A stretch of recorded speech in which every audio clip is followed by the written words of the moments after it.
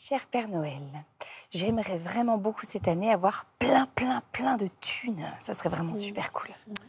Si tu pouvais m'offrir 15 à 20 000 nouveaux followers sur Instagram, tu serais top top. Père Noël, je voudrais découvrir la polygamie, même si mon mari me dit que c'est trop loin pour nous. Petit Papa Noël, je voudrais bien être Agathe Le Caron avec de longs cheveux blonds. Bah, tu serais super belle.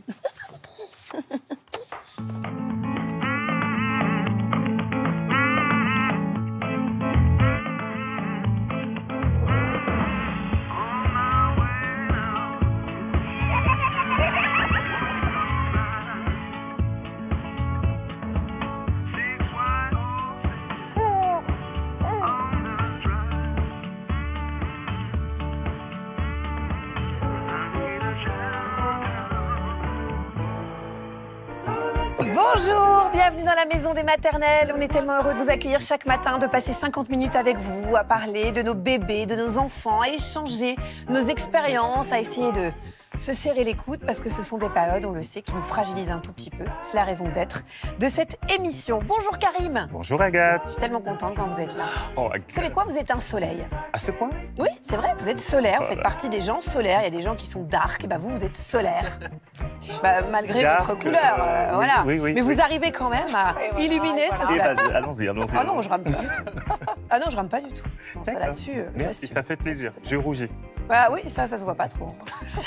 Marie Perarnaud, de quoi parle-t-on aujourd'hui? Écoutez, j'ai une petite question. Est-ce Oui. que c'est un bon goûter pour nos enfants? Oh non, Marie Oh, Perarnus, non. oh non. Oh, non. Enfin, ça fait deux ans qu'il est Oui, là. c'est surtout celui-là. Il a quand même été croqué ce matin, si vous regardez bien. C'est ça. mais Il bah, il y a quelqu'un qui a tenté l'expérience. mais- Visiblement, il a regretté. Voilà, non, je vous prépare une chronique sur les goûters zéro déchet et plutôt sains, autant qu'on peut pour nous. C'est-à-dire qu'en fait, euh, euh, on, on ne jette rien après ce goûter. quoi. Bah, quasiment rien. Bravo, Marie. Ouais, à part la peau de la banane. Et oui, qui se recycle en plus dans ce formidable. Benjamin Muller. On va écrire au Père Noël aujourd'hui. Je vais vous, Ah, vais vous donner en exclusivité tous les moyens pour qu'il vous réponde, ceux qui répondent à vos enfants.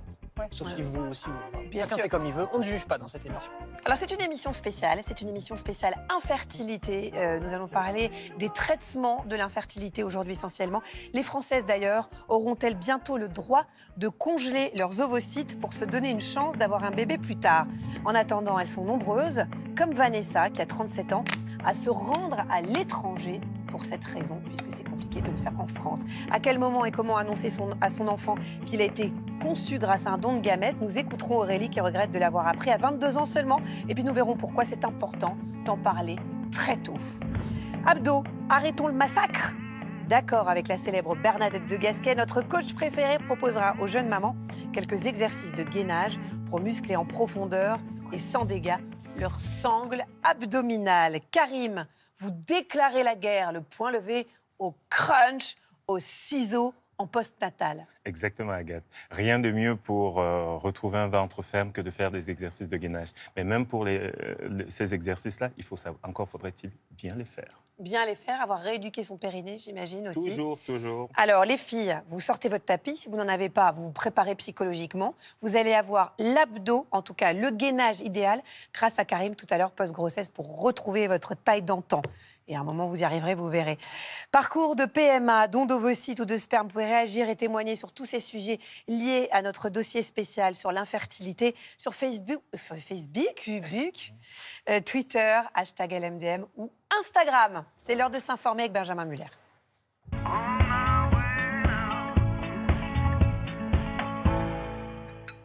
Nous allons ouvrir ce journal avec l'Agence de la biomédecine qui lance une nouvelle campagne d'appel aux dons d'ovocytes et de spermatozoïdes. Euh, c'est un appel aux dons accompagné d'une bonne nouvelle et puis d'une moins bonne nouvelle. Alors la bonne, c'est que de plus en plus de Français donnent, plus 40% en 2016, donc c'est significatif, en solidarité avec les couples qui ne peuvent pas avoir d'enfants. La moins bonne, c'est que les dons restent très insuffisants pour répondre aux besoins. On accueille pour en parler docteur Françoise Merlet. Bonjour docteur. Bonjour docteur. Bienvenue, installez-vous dans la maison des maternelles. Je vous proposerai bien des pains au chocolat, J'ai mais bien compris que. on est un peu sceptique. Je vais éviter. Comme on vous aime bien, euh, vous verrez à qui on les donne plus tard, dans, dans la semaine, enfin la semaine prochaine, vous verrez. Merci de revenir nous voir. Vous êtes la responsable de l'aide médicale à la procréation de l'Agence de la biomédecine. Commençons par la bonne nouvelle. Les dons ont progressé sur les derniers chiffres l'on a, 2016. Absolument. Donc on, on, a, on était très heureux de voir qu'entre 2015 et 2016, les dons ont formidablement progressé. Plus de 38% de donneuses recrutées euh, en 2016, plus de 45% de donneurs de sperme hein, recrutés en 2016. Alors, pour être précis, les chiffres sur 2016 sur les donneurs d'ovocytes et de spermatozoïdes, il y a eu 746 femmes qui ont donné des ovocytes, 363 hommes des spermatozoïdes, et on estime à 1200 le nombre d'enfants nés à l'issue d'une assistance médicale à la procréation avec un tiers donneur. Agathe a eu une très juste réflexion tout à l'heure en Bah, préparant J'ai cette émission. halluciné. Pourquoi est-ce qu'il y a plus de femmes qui donnent, à peu près deux fois plus, des ovocytes, ce qui est beaucoup plus contraignant que de donner des spermatozoïdes On voit tous Oui, on il faut on doit des- se faire des piqûres d'hormones et Alors, tout. ça. d'abord, il faut dire que c'est un bel élan de solidari- solidarité qui est. euh, on remercie toutes les personnes qui sont allées jusqu'à euh, euh, donner leurs euh, leurs gamètes. Et donc, c'est un bel élan de solidarité. Les hommes ne sont pas moins généreux que les femmes. C'est juste qu'on a un besoin un peu différent. Les dons sont pas symétriques. C'est-à-dire qu'un donneur qui a des millions de spermatozoïdes euh, par, euh, par don peut euh, répondre à la demande d'une dizaine de couples. Ah, c'est ça, Agathe. Oui, dans la seul don de limite- spermatozoïdes. Dans la limite de la loi, bien sûr. Je me disais la- bien qu'il y avait une explication logique à tout ça. Oui, dans, dans la limite de la loi, parce qu'avec un, loi- un seul donneur, on ne peut pas avoir plus de 10 enfants. Voilà, la loi beaucoup. prévoit qu'on ne, qu'on ne donne pas naissance délibérément à plus de 10 enfants conçus à partir d'un même don, même Alors- donneur. Alors qu'avec un don d'ovocytes, c'est Alors, euh, 1 à 2 enfants. les, ovocytes- les donneuses d'ovocytes donnent une dizaine d'ovocytes en moyenne et, et effectivement, on peut mettre en regard euh, un ou deux couples receveurs euh, maximum. Il y a environ 3000 Pas couples. tout à fait dans la même symétrie. Bien sûr. Ça y est, on a la, la réponse à notre oui, question. oui, parce que ça, ça paraissait quand même incroyable en voyant ces chiffres. Il y a environ 3000 couples, c'est ça, qui s'inscrivent chaque année pour avoir recours à un, Oui. à- à un don de gamètes. Combien de temps d'attente en moyenne aujourd'hui? Alors, il n'y a pas de délai d'attente à proprement parler pour le don de spermatozoïdes. On est dans un équilibre qui est certes fragile, c'est-à-dire qu'il faut continuer à maintenir le recrutement des donneurs D'accord. pour alimenter les nouvelles demandes chaque année. Et en revanche, en don d'ovocytes, on est dans une situation encore, bien qu'on observe cette, cette augmentation croissante depuis des années, hein, depuis 2008, on, voit les chiffres, le nombre de donneuses d'ovocytes qui augmente euh, régulièrement. Euh, eh bien, on, on a encore des délais d'attente qui vont jusqu'à deux ans en moyenne. C'est beaucoup mieux qu'il y a quelques années où on parlait de trois à cinq ans d'attente. Deux ans, c'est long. C'est Oui, c'était pour un 5 ans il y a attente. 15 ans. donc On voit quand même que ça évolue. Ça évolue de façon très très favorable, oui. Mais il faut continuer. Bah oui. Merci de nous donner cette occasion d'en parler. D'ailleurs, de donneurs, de donneuses, est-ce que ce sont des gens qui ont dans leur famille des proches qui ont pu avoir des difficultés à avoir un enfant ou pas forcément? Il y a de tout. Alors, de plus en plus, on observe, grâce aux campagnes qui sont relayées par les médias, relayées au niveau des régions par les professionnels, on observe de plus en plus de donneuses qui ne sont pas apparentées à une famille dans laquelle il y a un couple infertile Mhm. qui a besoin de recourir à un don de, de spermatozoïdes ou de- d'ovocytes. De plus en plus, ces donneuses sont spontanées, c'est la pure générosité. Aujourd'hui, il y a évidemment l'anonymat pour les donneurs. Est-ce qu'on peut être sûr que quelqu'un qui va donner aujourd'hui, dans 15, 20 ans, il n'y ait pas un risque que la loi évolue et qu'il se retrouve à lui dire bah voilà, tu as sept enfants euh, Alors, qui sont nés d'un don? Ça, on peut pas être sûr. je pense peu que personne ne peut dire, personne n'est en mesure aujourd'hui de dire ce que sera la loi. Et surtout si elle Et sera comment- rétroactive. Et comment, oui, quelles seront Ouais. les modalités euh, pratiques d'application Et donc, euh, l'agence euh, n'a pas cette mission-là. Elle, a pour mission de mettre en œuvre la loi actuelle, qui est en vigueur. Mais je veux dire, les donneurs, c'est une donnée cadre-là. qu'ils ont. Quand ils donnent, il y a cette possibilité, on ne va pas parler de risque, mais cette possibilité que la loi évolue dans 15-20 C'est ans. vraiment une question de société. On est bien au courant des débats qui ont eu lieu Mm. déjà et qui vont se poursuivre encore en 2019. On verra ce que les parlementaires, ce que le législateur décidera.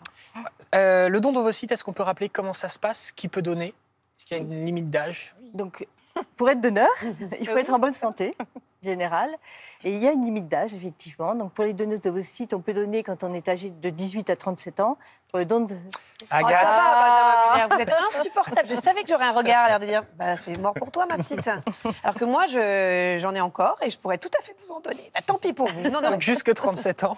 jusqu'à 37 ans et jusqu'à 45 ans pour les hommes. D'accord, jusqu'à 40 leur ans. justice. Encore une dissymétrie. Ouais. Ah, ouais. Pour moi, j'en ai, j'en ai beaucoup. Merci Karim. Rendez-vous sur les différents sites pour donner, c'est Absolument, important. c'est très important. N'hésitez pas à vous renseigner, surtout don d'ovocytes avec un s.fr ou don de spermatozoïdes avec un s.fr. Et vous l'évoquiez, effectivement, les choses sont en train de changer avec euh, la révision euh, prochaine des lois bioéthiques. L'an dernier, l'Académie de médecine a recommandé au gouvernement d'autoriser les Françaises qu'ils souhaitent à congeler leurs ovocytes. Et en attendant une éventuelle évolution de la loi, les Françaises qui le souhaitent doivent se rendre en Espagne ou en Belgique, par exemple, pour bénéficier de cette technique de pointe. Pour la maison des maternelles, Maëlle Kerguenou a suivi, a suivi Vanessa, qui a 37 ans, et qui a décidé de se lancer dans l'aventure dans la clinique Ivy. C'est à Valence, et Valence, c'est en Espagne. Dernier préparatif pour Vanessa. Demain, cette professeure d'histoire s'envolera pour Valence en Espagne. Objectif, y faire congeler ses ovules. Comme j'ai aujourd'hui 37 ans et que je suis toujours célibataire, vitrifier mes ovocytes, c'est une décision que j'ai prise parce que j'ai trop peur de le regretter plus tard. Si jamais euh, dans 4 ou 5 ans, je rencontre enfin quelqu'un et qu'il se trouve qu'on ne puisse pas avoir d'enfant parce que euh, mon horloge biologique ne me le permet plus. Nous retrouvons Vanessa trois jours plus tard à Valence, dans cette clinique spécialisée dans le traitement de l'infertilité. 8h30 le lendemain matin, jour J pour Vanessa. L'opération sous anesthésie générale dure une vingtaine de minutes. Fermer les yeux, tu peux te relaxer. On va commencer. L'aiguille est en train de rentrer dans le premier follicule. La gynécologue répète le geste plusieurs fois pour extraire tous les follicules qui contiennent les ovocytes. Ils passent ensuite directement au laboratoire pour être nettoyés. Puis vient la vitrification, un processus qui permet de congeler les ovocytes en seulement 12 minutes sans les endommager. Nous vitrifions les ovocytes qui se sont avérés matures grâce à cette technique qui consiste à les déshydrater partiellement. Puis on les passe de la température ambiante à moins 196 degrés en les plongeant dans de l'azote liquide. Les ovocytes se fixent alors sur ce bâtonnet. Ils sont finalement conservés dans ces cuves à moins 180 degrés, maximum jusqu'aux 50 ans des patientes, selon la législation espagnole. À l'étage en dessous, quelques heures plus tard, Ça va? Oui, ça va. Vanessa s'est réveillée. Elle retrouve son médecin. C'est le moment du verdict. La ponction a été très facile. Au niveau technique, il n'y a, pas eu de problème. On a obtenu 14 ovocytes. Parmi les 14, il y en a 9 qui sont matures. Donc c'est très bien. Il y en a 9. Il y en a 9 qui sont maintenant en train de se Ah, vitrifier. super. Trop bien. Ok. Une belle surprise pour Vanessa qui a déjà obtenu plus de la moitié des 15 ovocytes nécessaires pour espérer une future grossesse. Voilà, très beau reportage sur Vanessa. Évidemment, on va suivre l'évolution de cette loi sur la bioéthique. Les débats devraient commencer en janvier. Allez, on en vient maintenant à quelque chose de plus léger, mais loin d'être futile. Oh Le là. secrétariat, attention, oyez, oyez, secrétariat du Père Noël ouvert. Le secrétariat du Père Noël a ouvert. Alors effectivement, avec vos enfants, vous pouvez à partir d'aujourd'hui écrire au Père Noël. Le Père Noël s'engage, le Père Noël et la Poste, hein, ils, ont une, ils sont associés, Oui. s'engage à répondre si vous écrivez avant le 17 décembre. Oui, Donc vous écrivez. tôt, hein. Ouais, ouais. Ouais, moi, bah, je me il- suis fait avoir l'an dernier, personne nous a répondu. bah, parce que t'as écrit Ah bon. Ah ouais, j'ai posté, bah, le temps c'était fait, mais le temps de poster, bon, on n'a quand même pas que ça à faire, bah, Alors, paf Eh ben, notez que pour poster, il n'y a pas besoin de mettre de timbre, c'est gratuit. Et la Poste Ah. précise par communiqué que l'idée pour eux, c'est une opération pour concrétiser l'apprentissage de l'écriture, montrer aux enfants quand on écrit, on a des réponses, etc. Ça vaut le coup. Ils demandent juste d'écrire des lettres pas trop longues. Donc nous-mêmes, on a fait l'expérience, comme ça on va voir en temps réel. Mhm. vous savez, on teste, c'est un peu comme cache Ouais, ouais. investigation, Ouais, ça. Ouais. On a écrit une lettre au Père Noël et telle est Élise Lucet. Nous attendons une réponse du Père Noël. Vous avez vu, on est sympa sur la question. hein. Oui, oui, c'est ça. Euh, Est-ce que vous prenez bien. des vacances parfois? C'est Agathe qui a fait ce petit J'ai fait le bonhomme, le même que mon fils. Donc on va la poster tout à l'heure et si on a une réponse, on vous le dira. C'est très gentil. Le fameux Yetili, vous le connaissez si vous regardez Bah les oui. zouzous, évidemment. Eh ben, il va se rendre auprès des enfants malades. Yetili et l'association C'est que du bonheur s'associent pour aller à la rencontre des enfants afin d'animer leurs après-midi. L'objectif, c'est de les divertir, ces enfants, à travers la lecture. Si vous ne connaissez pas encore ce bon vieux Yetili extrait. C'était un dimanche après-midi tout à fait normal. Je faisais mes devoirs sur la table de la salle à manger. Gnocchi, mon chat, jouait à mes pieds. Maman lisait un livre dans le salon et papa était dans la cuisine. Quand tout à coup, ma maison a eu le Eh ben, on l'aime bien. on n'était pas du tout dedans. Non, on on vous n'était le dit, là-bas. on vous le dit. Euh, so- notez que Yetili et une conteuse seront le 14 novembre à l'hôpital de Lens dans le Pas-de-Calais, le 9 janvier à l'hôpital de Chartres en Eure-et-Loire et le 26 février à la Fondation Podats en Seine-et-Marne. Ça, c'est vraiment une super initiative. Merci beaucoup, Benjamin. À suivre le tuto de remise en forme de Karim. Sortez vos tapis, il va vous montrer comment bien gainer votre corps après l'accouchement, les bons gestes qui fonctionnent. Tout de suite, place à notre dossier euh, consacré au don de gamètes. Seul moyen parfois pour euh, permettre à un couple, à une femme d'avoir un bébé, un témoignage qui va vous bouleverser. Vous allez voir vos réactions sur les réseaux. C'est l'heure de partager.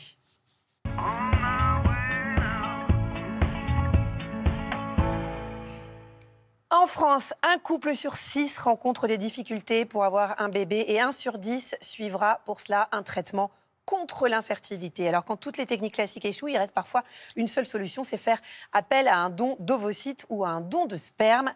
À qui s'adressent ces dons? Comment en bénéficier? Et puis si par bonheur des enfants viennent au monde, comment leur parler de la façon dont ils ont été conçus et quand le faire? À l'occasion de la journée de l'infertilité organisée par notre partenaire Magique Maman, nous allons aborder toutes ces questions avec le professeur Michael Greenberg. Bonsoir, bonjour. C'est bien de dire bonsoir à 10h du matin, 9h même. Euh, bonjour professeur, donc vous êtes euh, chef de service de médecine de la reproduction et préservation de la fertilité à l'hôpital Antoine Béclair de Clamart. Vous avez euh, collaboré à cet ouvrage sans questions-réponses sur l'infertilité, c'est chez Larouche, Larousse Poche. Bon, je ne vais pas y arriver ce matin. Larouche, célèbre maison d'édition. Larousse Poche avec Magique Maman. Bon, en même temps, Larousse Poche, excusez-moi, hein, vous m'avez pas facilité la tâche. Christelle, bonjour. Merci beaucoup d'être venue témoigner de votre histoire ce matin. Vous avez 41 ans, vous avez eu un parcours PMA qui a duré 18 ans. C'est ça. C'est un truc de dingue. Et vous êtes la maman d'un merveilleux petit bébé qui est en train de faire dodo là avec nos nounous. Euh, on aurait bien aimé vous le montrer pour tout vous dire. Regardez, bah, il est trop chou. C'est Stani, il a deux mois et vous l'avez eu grâce à un don d'ovocytes. Euh, Qu'est-ce qui vous a amené à consulter dans un centre d'infertilité à la base? Alors un long parcours, euh, donc un, un, premier essai bébé avec papa qui s'est avéré négatif, Mhm.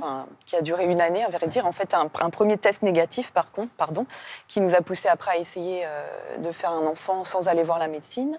Euh, après cette année de- d'échec, euh, voilà, on, s'est décidé d'aller voir notre gynécologue qui nous a donc euh, dirigé vers les inséminations artificielles. Après, Il faut dire que votre, vous avez une grande différence Oui, d'âge avec votre oui, mari. oui, et donc, voilà. du coup, la première chose, c'est qu'on lui a fait faire un spermogramme. Voilà, c'est ça. Ils sont plus concentrés sur mon mari. D'accord. Euh, professeur, qu'on sache un petit peu à partir de quand est-ce qu'il faut consulter quand on n'arrive pas à faire un bébé? Est-ce qu'il y a vraiment une date butoir quoi?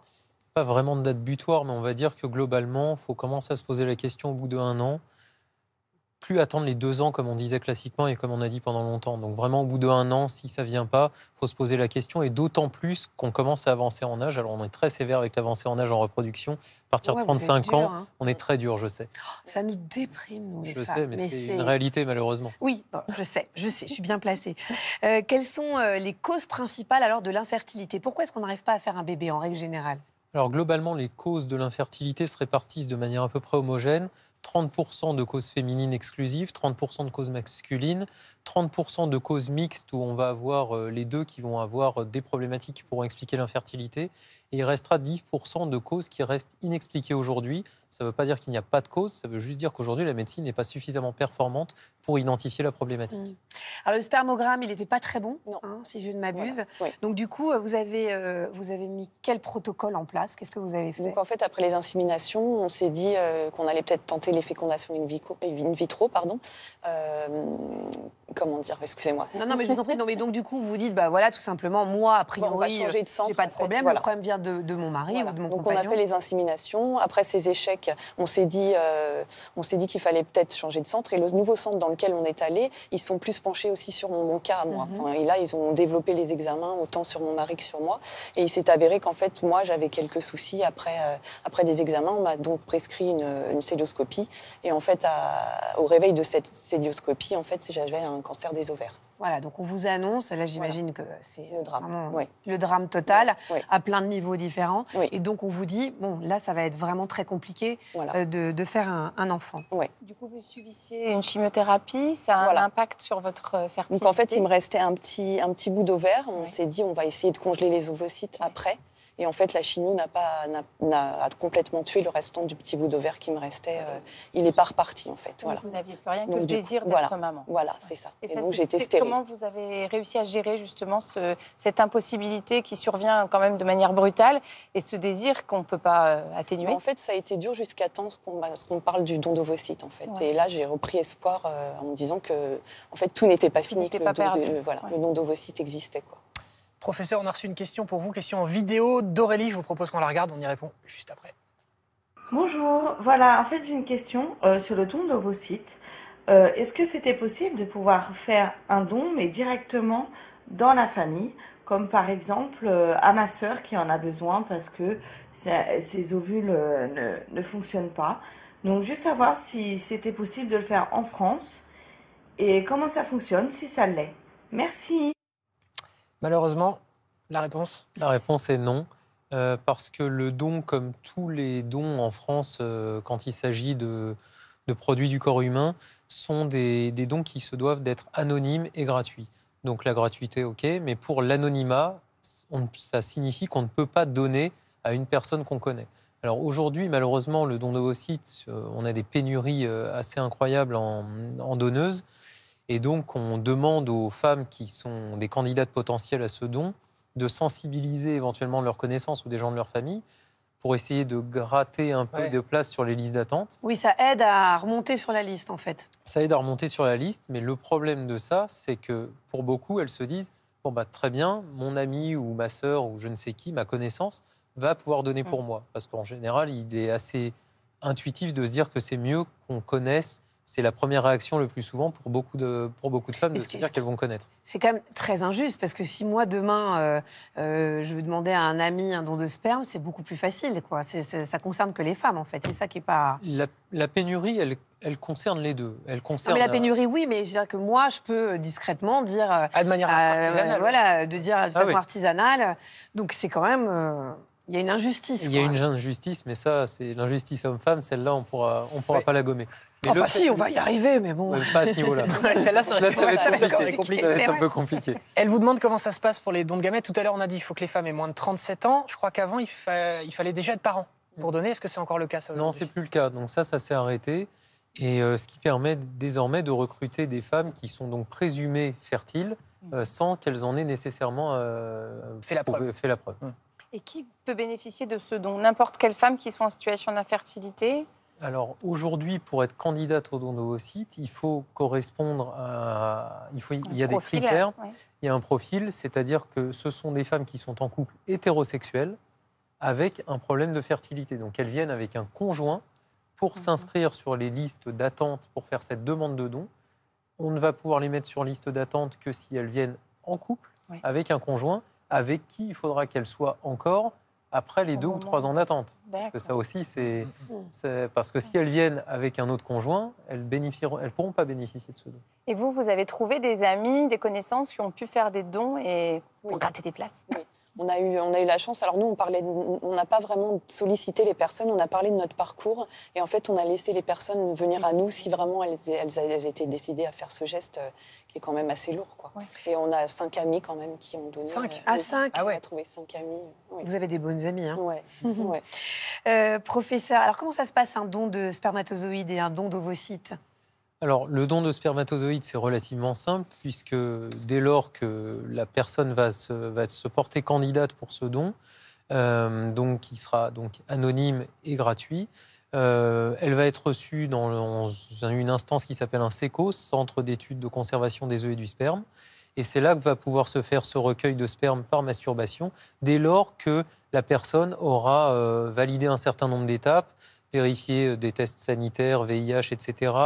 Euh, vérifier également son profil psychologique, puisqu'il y, a des- il y a des consultations avec, euh, avec les psychologues qui sont absolument indispensables avant d'être définitivement euh, autorisé à être donneur.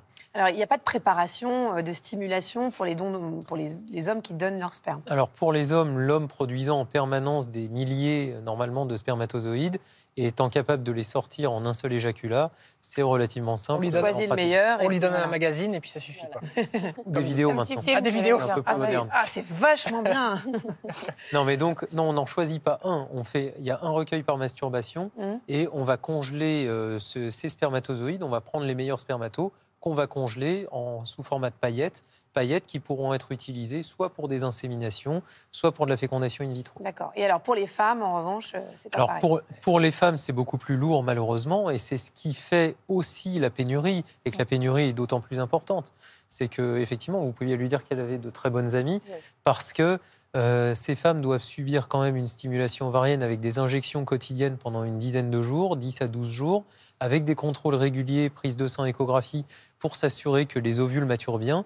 Et à la fin, il faudra une ponction, un prélèvement qui se fera au bloc opératoire, sous anesthésie soit générale, soit locale, en fonction de ce que voudra la patiente. Et on va récupérer les ovules par une technique euh, de ponction sous échographie. On mettra une aiguille au fond du vagin pour récupérer les ovules qui ont été euh, maturés à la faveur de la stimulation qu'on aura administrée.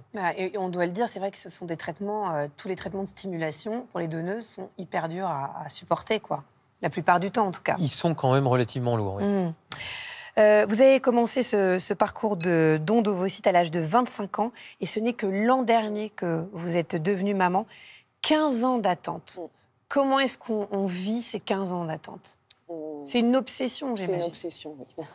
Je pense que le désir était tellement important que, enfin, pour moi, c'était pas autrement. Quoi. Je, devais être maman. Quoi. Et vous avez eu combien de transferts d'embryons?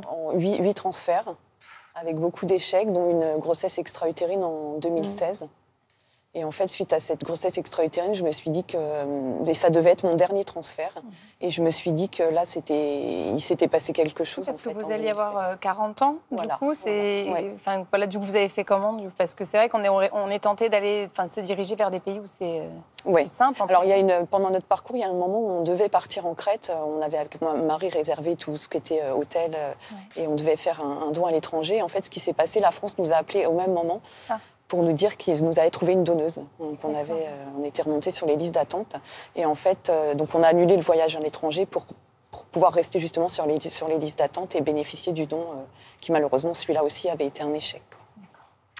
Alors comment et quand expliquer à un enfant, je pense que ça va vous intéresser, qu'il est issu d'un don de gamètes? Aurélie a appris à 22 ans seulement qu'elle avait été euh, conçue grâce à un don de sperme.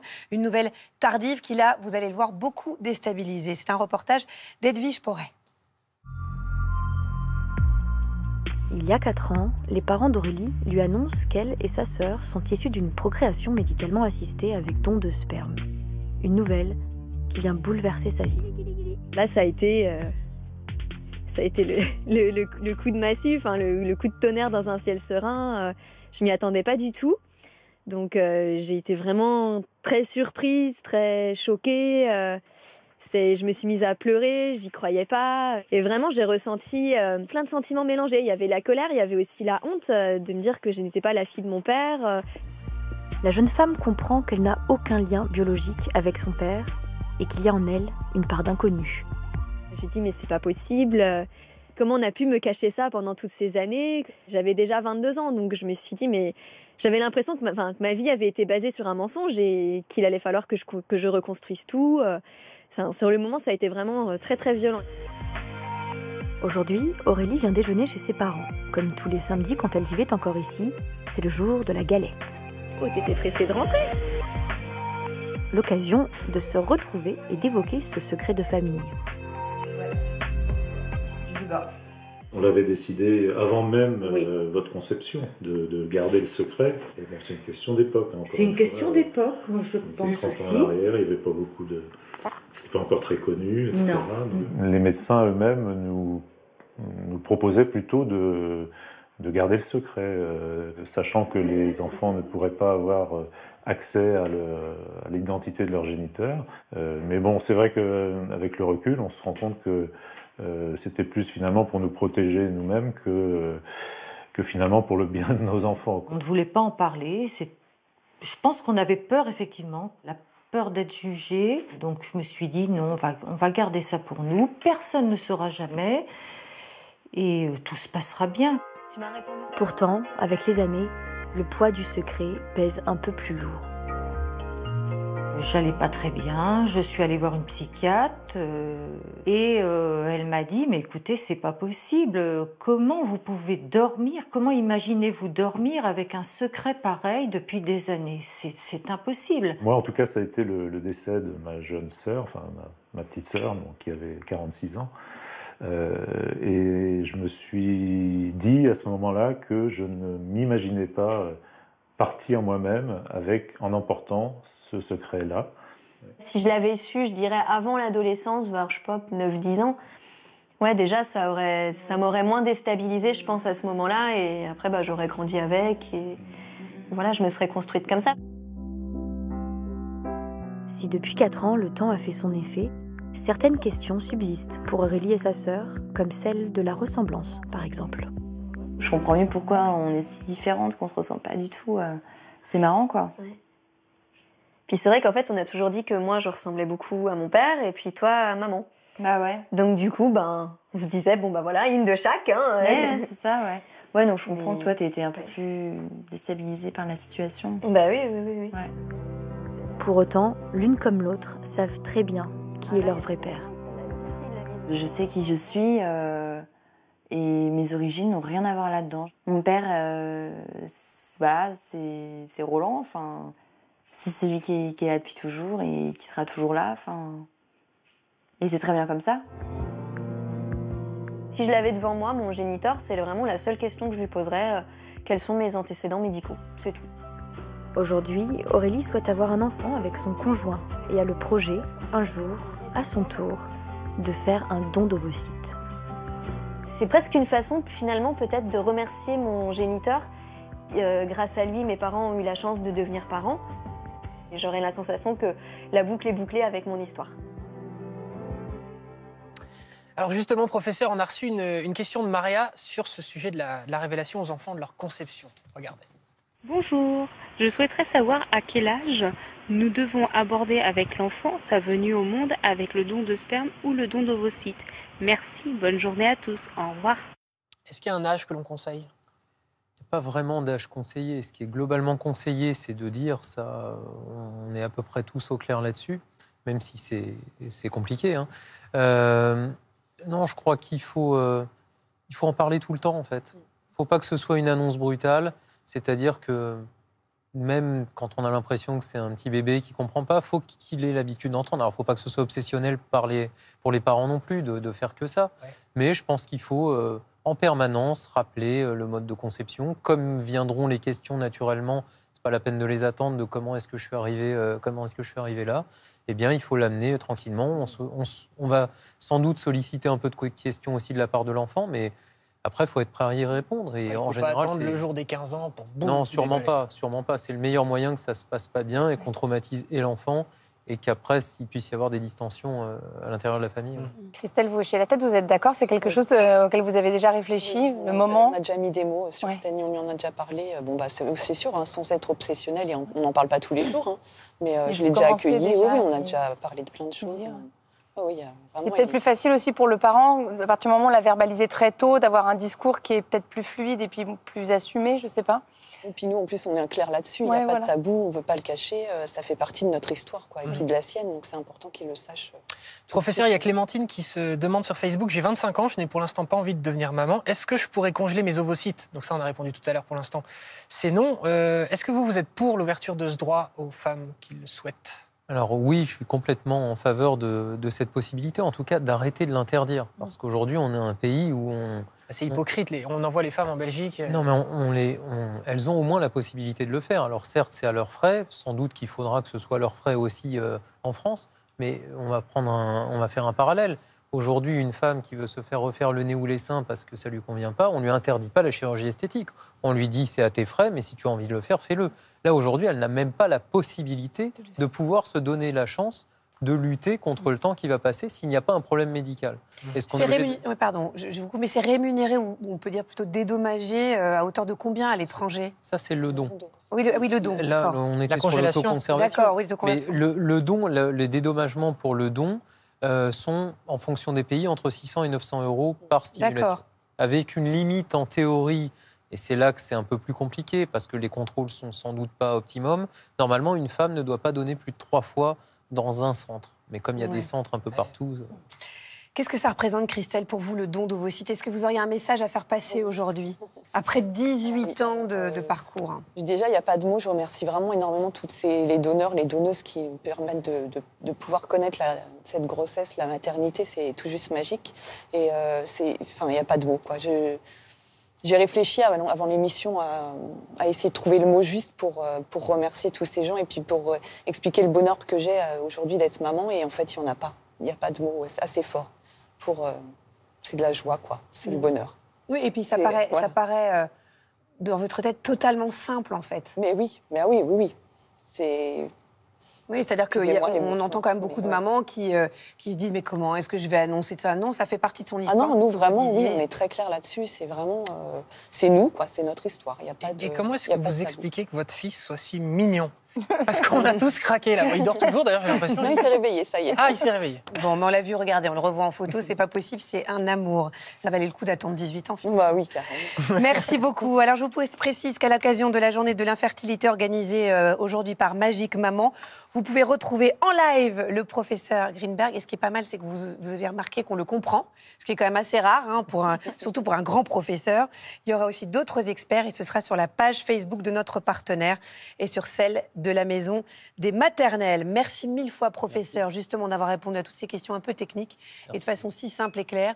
Merci, Christelle, d'être venue vous confier ce matin dans la maison des maternelles. Et puis, bah, vous nous donnez des nouvelles de votre famille régulièrement. Karim et son invité ont pris place sur le tapis de sol. Objectif euh, gainage et abdos d'acier après bébé, mais évidemment tout de suite après l'appel à témoins de Benjamin Muller. Maman d'un ou plusieurs enfants, vous avez traversé un épisode de burn-out maternel, épuisement, tristesse, irritabilité, euh, irritabilité plutôt, envie de tout abandonner. Quels ont été vos symptômes? Comment votre entourage a-t-il réagi et qu'avez-vous mis en place pour en sortir? Vous nous écrivez pour parler du burn-out, lmdm at 2p2l.com. Et c'est l'heure tout de suite de pratiquer.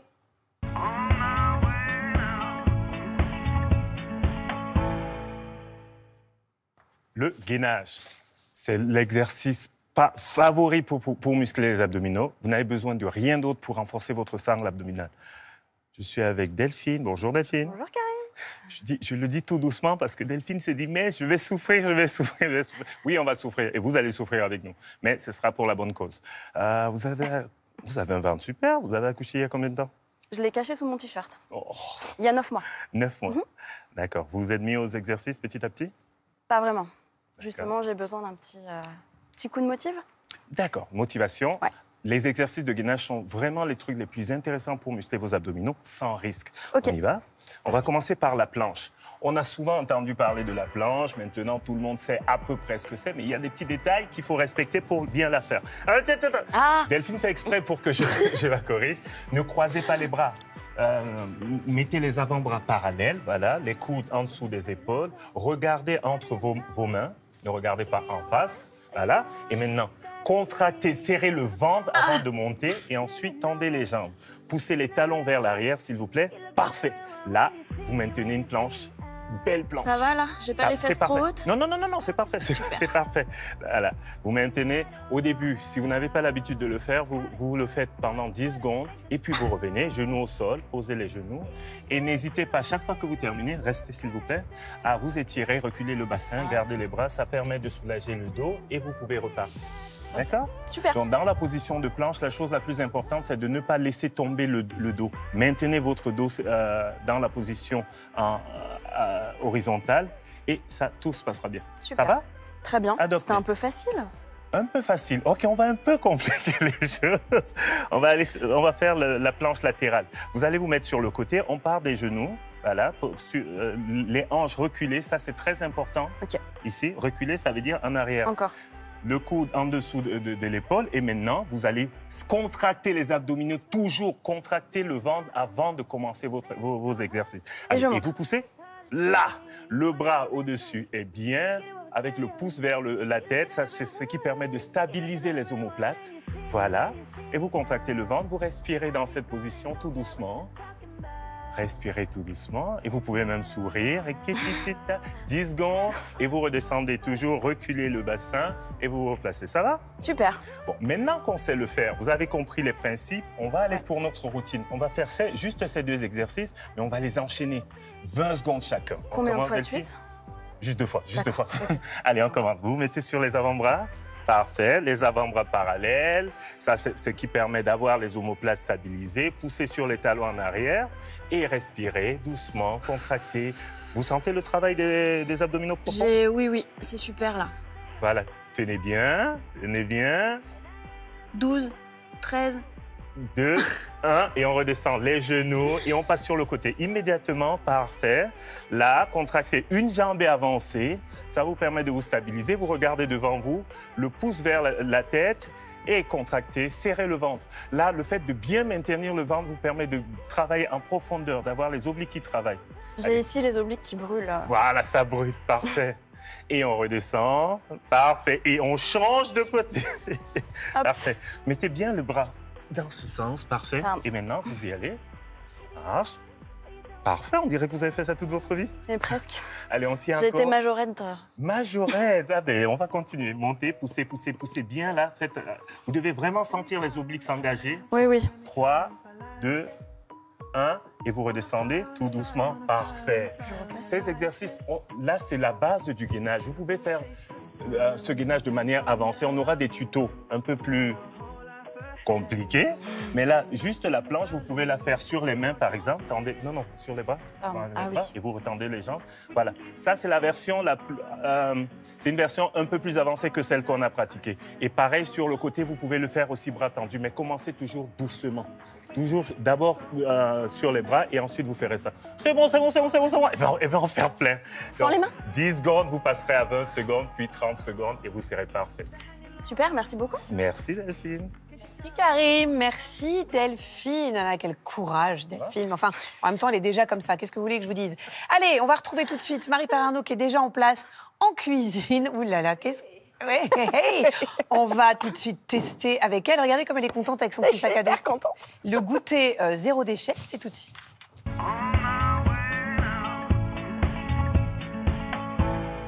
Alors Marie, vous êtes donc fixé un challenge, faire goûter nos enfants de façon saine, oui. sans laisser aucun déchet. C'est ça. Enfin, on va essayer. Non, c'est mon nouveau challenge de cette année. Parce que le goûter, selon mon cher et tendre, c'est quand même le repas le plus important de la journée.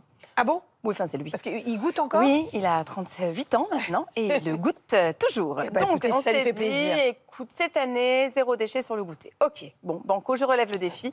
Donc, qu'est-ce que je mets dans mon sac à goûter? Ma foi, moult choses. Alors, par exemple, l'exemple le plus typique, et je l'utilise aussi, hein, hein, hein, la compote à boire. La compote à boire, il n'y a aucune entreprise en France qui est capable vraiment de recycler de manière totale cette compote à boire. Ah non, ça c'est vrai. Alors on va pas, c'est quand même pratique en voiture, la petite gourde. Bah, et puis ils aiment bien les enfants. oui, ils aiment bien, mais désormais on trouve quand même énormément de solutions pour remplacer cette compote à boire. on va la mettre au fond de votre sac. Est-ce que c'était une bonne idée, Marie Le sac, le puissant fond. Béaba fait par exemple des gourdes réutilisables. C'est-à-dire qu'il y a un modèle pour les petits, tous des vis. On va pouvoir ajouter ce qu'on veut comme contenu à mhm. l'intérieur. Vous voyez, hop, hop, hop. Ouais, ah, c'est pas mal ça. Silicone. Ah oui, en plus c'est hyper agréable. Oui, bah oui. D'accord, super. Et on va pouvoir ajouter, donc selon l'âge de son enfant, il y a la partie tétine. Là, je vous ai mis la partie euh, suceur. Oui, oui. Oui, pour les parties. Euh, bah oui, c'est le truc pour les plus grands. Je sais pas comment on appelle bec, bec, euh, mais pas verseur. Bec, bazar. ouais, enfin un bec, bazar quoi. Ouais, bec bazar. bec bazar. Mis du bec benzène. Et ça ressemble, ça ressemble quand même à. Oui, à un sein, un, petit sein, on va le dire. Hein, mais voilà. Mettez le petit capuche-puche. Ouais. On remplit de compotes maison ou, vous savez, ces compotes qu'on achète dans des grands pots en verre qui limitent quand même, pour le coup, les déchets. Oui. Hop, on le glisse. C'est génial, in Marie. the bag. On est content. Bravo. La squeeze également. Alors ça, c'est plus connu que ça encore. Mais voilà, pour les plus grands, c'est un peu plus, ça fait moins bébé que la béaba, on va dire clairement. Squeeze, même principe, ça s'ouvre en fait cette fois-ci par le bas.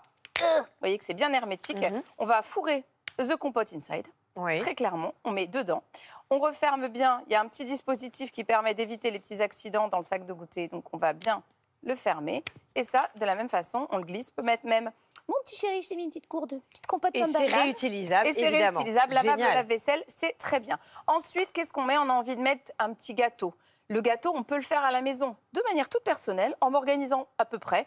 On, fait, on met quoi 10 minutes à faire préparer une pâte à gâteau, yaourt, chocolat. Et en plus, on fait faire des trucs à ses enfants, ils adorent. C'est sympa. Deux par semaine, on, on, achète un grand moule, on fait une grande barre, on peut le conserver 3-4 jours, on découpe des tranches et on le met dans une boîte à goûter hermétique. La boîte à goûter, ça va vous sauver. Pourquoi? Parce qu'on va pouvoir y mettre n'importe quoi sans avoir des emballages individuels. Alors, on en a des pimpés, là, c'est Ludi Label qui en fait des au nom de l'enfant, Mhm. dans lequel on va pouvoir mettre une part de gâteau, par exemple. Voilà, sans souci. Si vous n'avez pas envie d'investir dans une boîte à goûter, parce que vous en avez marre de dépenser du pognon en regardant mes chroniques, pas de problème. Prenez donc un Tupperware. Vous savez, ces modèles de Tupperware vendus. Alors là, c'est un, modèle de chez Lassig. Il en existe aussi chez Emma, par exemple. Ces espèces de petits Tupperware vendus par trois, dans lequel, ben voilà, je vais pouvoir mettre dans celle- celle-ci qui est un peu plus grosse, ma part de gâteau. Il n'y a pas de phtalate là dans ces trucs-là là? Non, si de toute façon, si vous avez peur, vous allez sur le site sansbpa.com Mhm. qui ne propose des contenants ne, euh, contenant justement rien du tout de, de toxique ou de nocif. Elle a fait le boulot pour vous, elle a fait une sélection voilà, de choses qui ne contiennent aucun produit nocif. Super. La SIG, c'est allemand. Vous pensez bien qu'il n'y a pas de phtalate chez les Allemands Ah, oh, Deutsche Qualität, oui, vous le savez, vous le savez, bien, sûr. Donc la gourdasse, c'est pareil. On opte pour une gourde sans BPA qui va être réutilisable. Exit les petites bouteilles d'eau en plastoc, c'est terminé. On prend de la gourde qui, en plus, elle mérite d'être isotherme et très légère. Teintée. Ça me plaît parce qu'elle est en inox. Eh oui, elle est belle. Ensuite, si on n'a pas envie d'avoir des boîtes à goûter parce que c'est lourd dans le cartable de notre enfant, il y a la marque Apple Chick qui fait des petits sacs réutilisables et lavables. En plus, il y a du renardeau, donc vous pensez bien que je kiffe. Vous, il est hyper léger, il va être euh, utilisable pour la nourriture puisque l'intérieur, encore une fois, vous voyez, est lavable. Ah ouais, c'est génial. Donc j'y ai mis mon petit péché mignon qui est vraiment très moche, mais c'est de la ah, banane. c'est la banane séchée. Voilà mon jeu. Oh, écoutez, on va pas se mentir, on dirait, on dirait vraiment de, du, caca, hein, mais, ah, euh, mais c'est très très bon. Je vais dire une verge momifiée. Mais euh, Une verge momifiée ou, tout simplement une merde sèche. Voilà, mais c'est succulent. Vous pouvez faire aussi des chips de fruits. Voilà, les enfants adorent les fruits séchés. Les pommes, vous les râpez avec une mandoline finement au four à 60 degrés pendant 4 heures. Vous avez ce type de choses plus ragoûtantes qui ressemblent moins à une merde séchée. Sinon, vous avez une recette que j'aime beaucoup. Je J'ai tellement envie de goûter, Marie. Oui, je sais. J'ai tout préparé. Même si là aussi, on dirait un peu de la crotte de chameau, mais, mais, non, mais c'est appétissant. Plus une crotte, banane. Une crotte qui hein donne envie. Alors, c'est une recette que je fais très souvent. C'est Save the Green qui fait ça. Mhm. Je vais complètement piquer sa recette parce qu'elle est bonne. Donc, je la transmets aujourd'hui. Allez-y. Elle ne nécessite aucune cuisson. Donc, vous prenez 130 g d'amandes entières que vous mixez ou en poudre si vous êtes feignant comme moi. 3 cuillères à soupe de farine. J'ai opté pour de la farine de coco qui est très bonne. 3 cuillères à soupe de purée de noisettes, mais si votre enfant n'est pas allergique, on peut carrément se mettre de la purée de cacahuètes.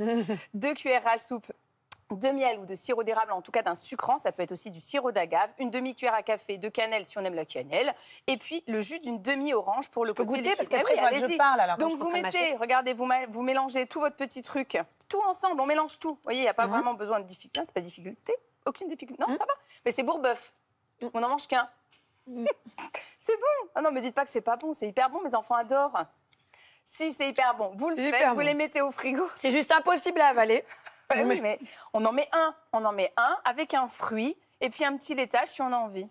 Écoute, c'est Marie, vraiment. C'est hyper bon.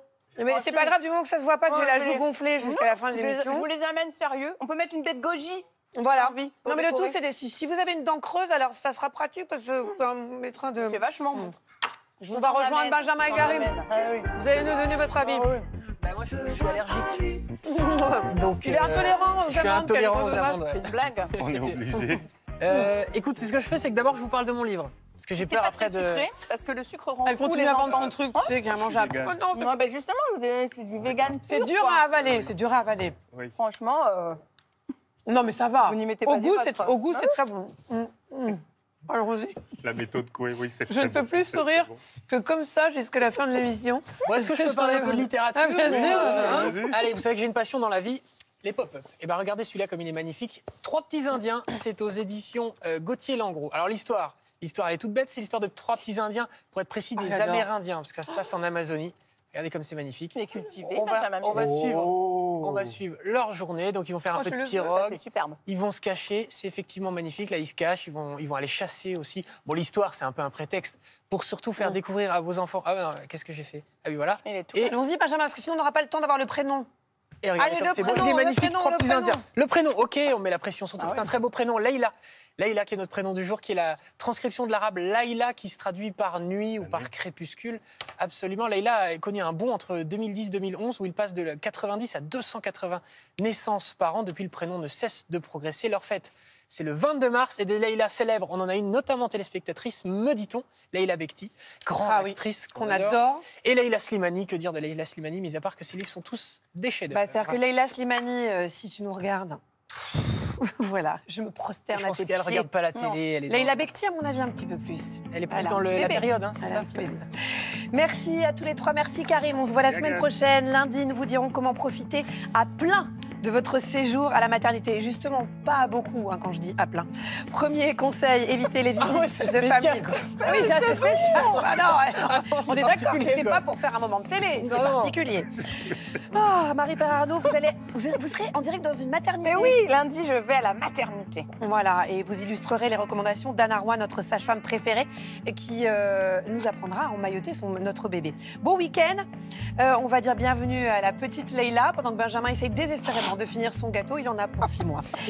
bienvenue à Leïla et bienvenue au bébé du jour, à lundi.